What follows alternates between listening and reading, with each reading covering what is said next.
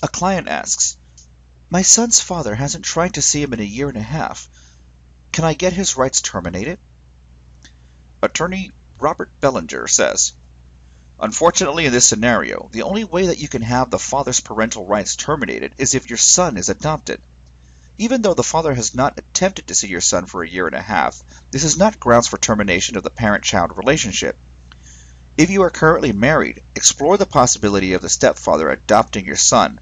Alternatively, if there is a court order in place, you may seek to either enforce or modify the order in regards to custody and parenting time.